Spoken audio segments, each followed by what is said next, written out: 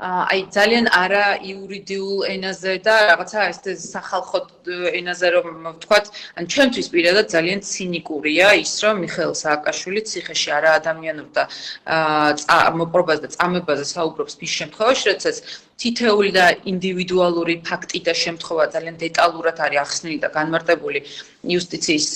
მინისტრის და პენდენციური სისტემის წარმომადგენლების მხრიდან. და ამაზე არაერთხელ იქნა საუბარი ჩატარებული თუ რა და როგორ ხორციელდებოდა, მაშინ როდესაც თვითონ იყო ნამდვილად შემოქმედი ერის წამების და აი ეს ცინიზმი კიდევ ერთხელ მარწმუნებს, რომ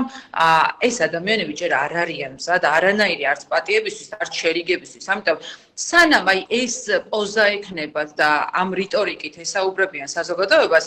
მათ შორის ჩვენ ამ საზოგადოების უბრალესობით არჩეულ პოლიტიკოსებს და პარლამენტარებს ნამდვილად არ გვიადვილებენ იმ მისიას, რა მისიასაც შეიძლება შერიგება ატარებდეს. ამიტომ ძალიან კარგად დაფიქრდნენ, რომ იყვნენ თანმიმდევრულები თავიანთ განცხადებებში და ურთიერთ გამომრიცხავ პოზიციებს მოაფიქსირებდნენ.